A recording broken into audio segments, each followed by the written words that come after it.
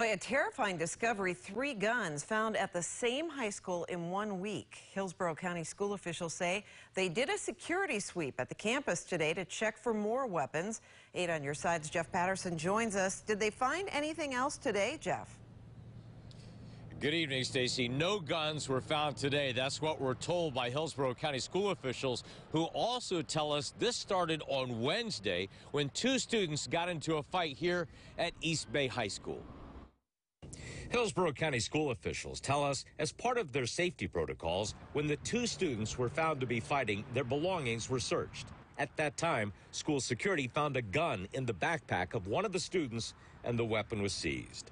That same day, outside of the school but near campus, school security found an adult with the gun and that weapon was seized.